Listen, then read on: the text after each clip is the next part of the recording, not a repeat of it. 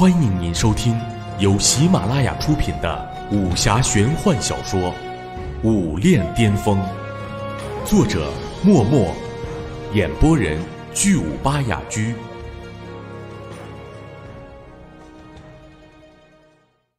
欢迎继续收听《武炼巅峰》第一千九百六十八集，进退自如。这世上，竟还有人以如此低微的修为，将空间法则动用到这种程度。蓝薰美眸里一片赞叹之意，泛着异彩，望向杨开所在的方向。因为空间法则的阻扰，空间力量的跌宕，让他看起来。杨开距离他的位置也是飘忽不定，时近时远。在这种力量的干扰之下，旁人根本不可能攻击到他。或许只是动用了什么秘宝而已。萧晨一脸不服的说道：“对了，他手上不是有一件地宝吗？这家伙有点背景，应该有什么空间秘宝。”蓝薰黛眉紧皱。懒得去搭理他。虽说空间秘宝确实有可能做到这种程度，但刚才杨开动手之前根本就没有动用秘宝的痕迹。蓝星看得清楚，他只是一抬手便让空间法则笼罩了那一片天地，这绝对就是他自身的力量。哎，这小子。另一边。一直提心吊胆的夏生也是苦笑不迭。在杨开炼制成太妙丹之后，夏生便开始给他秘密传音，让他配合自己的行动了。哪里知道杨开根本不理会他，眨眼间就来了这么一出。看样子不需要我们帮什么忙啊？萧白衣若有所思道：“嗯。”夏生皱着眉头，他竟然精通空间之力，那肯定可以做到那件事。有此绝技的话，倒的确是不用怕了旁人。只是，只是什么？萧白衣惊愕的朝夏生望去。只是他到底想要做什么呢？夏生不解的望着杨开。直接带着太妙丹跑路不就行了？他还留下来嘲讽四方，还是嫌自己活得太潇洒了吗？听他这么一说，萧白衣也茫然了起来，完全不知道杨开到底有什么企图。另一边，吴常脸色铁青，默默的观望了杨开片刻，这才道：“你以为躲在那里就安全了？”杨开笑道：“吴长兄要来试试吗？”正有此意。吴常暴喝一声，伴随着无常的一声怒喝，一道人影悠然激射而出。动的不是无常，而是罗云。他踩着一种玄妙至极的步伐，瞬息之间就栖近到那被空间法则影响到的位置处。凌空而立，目光冷然地望向下方，旋即他高高举起双手，紧握成拳，抱在一起，狠狠朝下砸去。狂暴的能量涌动起来。罗源的身后，骤然浮现出一个高达十几丈的身影来，那身影似是人形，却极为震撼，犹如巨灵神一般。举起两只擎天大手，做出了与罗源一模一样的动作。轰！一息后，巨响声传来，那巨大的拳影砸在了空间法则影响的领域处。杨开脸色骤然一变，只见那四周的空间裂缝竟在一瞬间分崩离析，而自己营造出来的空间领域也在这一刻被暴力破开。还不等他反应过来，吴成竟忽然从罗云身后，杨开的视野死角处跳了出来。他一手持刀，一手持剑，那刀身殷红如火，那长剑洁白无瑕，刀剑交辉相映，泛起了一片迷离光彩。吴常只是将刀剑交叉而出，一层阴阴的光芒便骤然跌宕开来。与此同时，他口中暴喝一声：“刀剑镇狱，封锁四极！”哧哧哧，肉眼可见的刀剑剑芒充斥住那偌大一片天地，形成一股无形的力量，将这一片空间都彻底封锁。所有人都看得叹为观止，瞠目结舌。吴常与罗云这两个之前还彼此看不顺眼。甚至发生过一点小摩擦的南域精英，竟然在这一刻配合的完美无瑕。先是由罗元倾天一击破去杨开的空间封锁，后由吴常施展秘术反封锁住杨开的行动。如此一来，杨开即便精通空间之力，也势必要成为瓮中之鳖。两人对出手时机的把握简直妙到颠毫。即便是同门师兄弟常年配合，也不一定能做到这种程度。但他们两个出身不同的武者却都做到了，凭借的仅仅只是自身的判断和战斗的本能。要坏！夏生脸色一变，低喝起来。另一边，无常已经冷笑不迭：“这下看你怎么死！”说话间。他手上刀剑已然又是一角，一股红白相间、充斥着刀光剑芒的风暴骤然朝杨开袭去。他出手没有丝毫留手，显然是已经打算置杨开于死地了。众目睽睽之下，那风暴直接将杨开吞没，将他的身体搅成碎片，甚至连带着他身边的墨玉鼎也被搅烂。啊！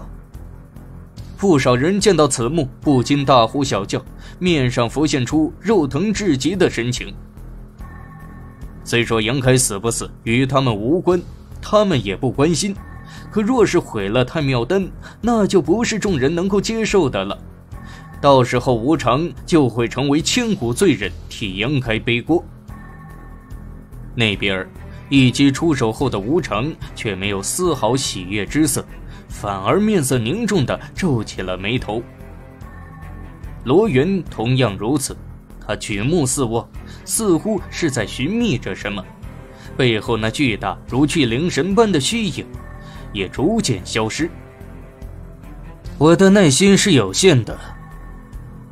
一道声音忽然从侧旁传来，众人闻声望去，只见杨开竟毫发无伤的站在那边的虚空处。手上托着那一方炼丹炉，面色阴沉的扫下下方，冷声道：“刚才那一下，我可以当做是对我有没有与你们对话资格的试探。如今结果已经出来了，若还有人不识相对我发起攻击的话，那么这一炉太妙丹我就全吃了。”疯了，疯了，疯了！这家伙完全是个疯子呀！呃，这位兄弟不要啊！吃那么多丹药对你不好的，分我一粒如何？无常眉头一皱，低声道：“果然能够瞬移。先前他就有所猜测了，杨开既然精通空间之力，那么肯定可以做到无视空间阻隔，类似于瞬移的秘术，所以他才想封锁住杨开所在的那一片天地。”准备来个瓮中捉鳖。他自问与罗源之间的配合衔接的恰到好处，可依然没能将杨开怎么样。他甚至都没有发现杨开到底是什么时候瞬移走的。单冲这一点，他就知道自己等人是根本没法拿杨开怎么样了。精通空间之力的武者。在逃跑和追踪这种事上，有着得天独厚的优势。此传言果然不是作假。想要击杀或者擒拿杨开这等人物，唯有少数几个法子可以施展：要么就请来与他实力相差巨大的武者，以绝对的实力碾压掉他，让他没有动用空间力量的机会；要么就是将他引诱进一片独立的小空间。让他逃无可逃。要么就是制造出类似结界的存在，困住他。四季之地内无人可以做到这种事。杨开在这里简直可以无法无天。杨兄话中之意是要与我们谈判？蓝心黛眉一扬，开口说道：“他从杨开刚才那句话中听出了不一样的意思。”公主殿下所言极是。杨开咧嘴一笑。不过，公主说对了一半。愿闻其详。蓝心抿嘴一笑。我是要跟他们谈判，并非是与公主你。亚 FM 出品的《武炼巅峰》。杨开说话间，已经伸手探入自己的那个丹炉中，取出了一枚圆滚滚、约莫龙眼大小、色泽洁白、犹如珍珠一般的灵丹来。沁人心脾的香气立刻弥漫开来。太妙丹！人群中惊呼声传来，每个人都目光火热地望向那一粒灵丹。每个人都知道，这就是那传说中直通地位的灵丹妙药。炼制太妙丹的一味药材由公主殿下提供，那么杨某就按照先前之约，送公主一粒灵丹，请公主笑纳。杨开捏着那一枚灵丹，朝蓝心示意道：“哦，杨兄愿意履行约定。”蓝薰有些意外的望着他，他本以为杨开不会再这么做，哪里知道事情跟自己想的有些不太一样。杨开正色道：“这是自然，太妙丹能够炼制成功。”公主殿下提供的那一株碧血枝功不可没，若没有那碧血枝，此刻自然也就没有太妙丹。公主殿下自然可以分到一粒。至于其他人嘛，没出力，没出东西，只是站在旁边围观，也想要丹药。他一声毫不留情的唾弃：“哼，做梦去吧！”杨兄此举也算公正。蓝薰微微颔首，正色道：“既如此，那小妹就不客气了。”这般说着，他轻移莲步，朝杨开行了过去。不多时，便来到了杨开身边，接过他递过来的灵丹，低声道：“谢谢，公主客气了。”杨开微笑回应。若是可以的话，公主殿下此刻便可以将这灵丹服用了。太妙丹与旁的灵丹不一样，它并非是需要在晋升关头服用的，反而是越早服用效果越好，药效发挥的也越是彻底。待到公主晋升帝尊境那一日，太庙丹的作用便会发挥到极致。那就现在吃了吧。蓝心说着。果然将那太庙丹塞入坛口，咽了下去。咕咚，声音并非来自蓝薰，而是下方那些围观的武者们。他们眼睁睁地看着蓝薰将这一枚灵丹服下，竟是情不自禁地咽了下口水来。公主殿下天资绝伦，辅以这一粒灵丹，成就地位指日可待。杨某先在这里预祝公主五运昌隆，早登帝境。承你吉言。蓝薰微微一笑。马屁拍完了吧？吴常忽然一脸不爽的打断了两人的交谈，冷冷的望着杨开道：“我大概是想明白你想干什么了。”哦。杨开眉头一扬，望着吴常道：“吴常兄若是猜到了，不妨说来听听。”吴常一声冷哼，冷声道：“太妙丹已经炼成，你有精通空间之力，随时可以从此地离开。但你却并没有走，反而还留在这里喋喋不休，故意取出太妙丹来诱惑众人。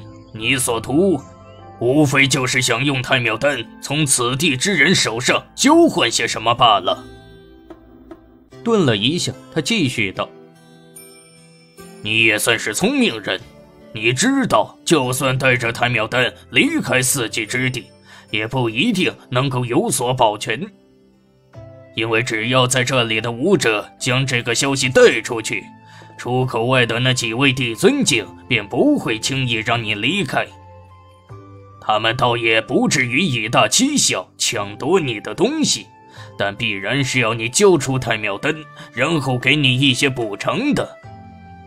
只是，与其被动的接受旁人给的补偿，还不如主动出手，尽量争取最大的利益。他最后盖棺定论：“我说的对也不对？”杨开一脸赫然地望着吴常。似是听呆了，好一会儿，他才抚掌赞道：“真没看出来呀，吴长兄竟是这般心思玲珑的人。”他此言无疑是承认了吴常所说。事实上，杨开确实就是这么想的。太庙丹确实珍贵无比，若是有可能的话，他还真想带走。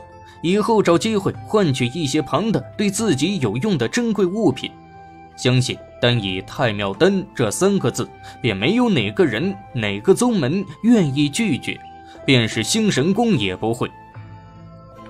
可是，正如吴常所说，他就算把太庙丹带出了四季之地，也绝对不可能真的带走的。出口外的那几位帝尊境，怎么可能让他这么做？最理想的结局，无非就是那几位帝尊境把他的太庙丹瓜分了，然后各自补偿他一点好处。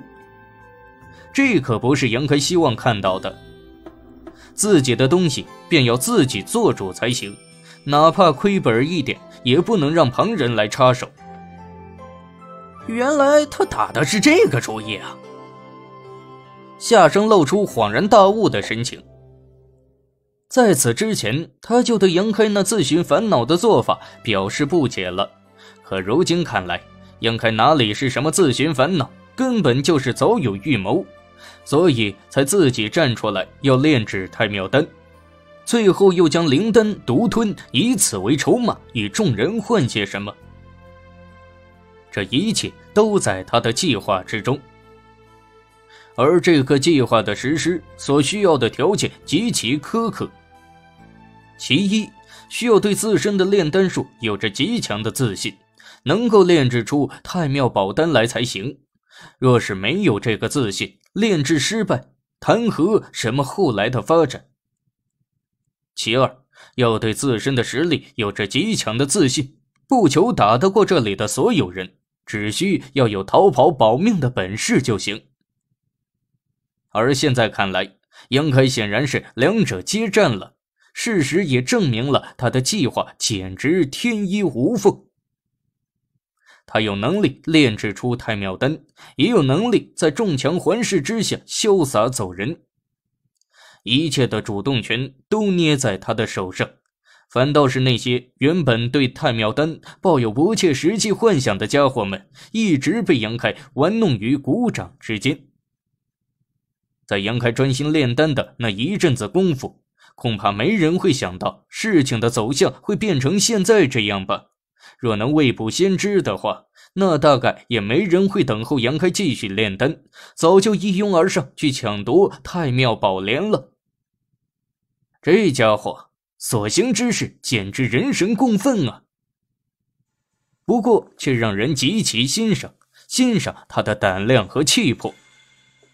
这种举动，可是等同于与所有人为敌，一个不小心便是万劫不复的结果。没点胆量和气魄，谁能干得出来？想到这里，夏生又是脸色一变，暗骂杨开狡猾无比。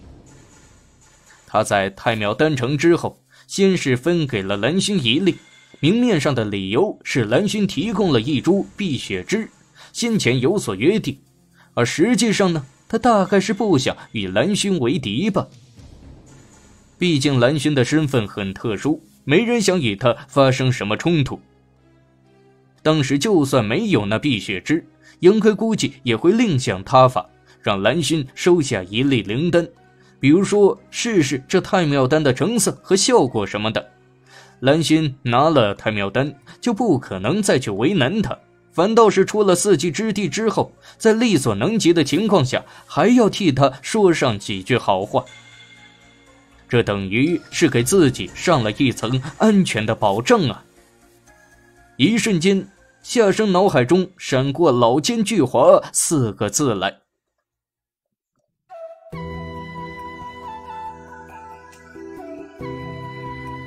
听众朋友们，您刚刚收出品的武侠玄幻小说《武炼巅峰》，作者默默，演播人巨武巴雅居，更多。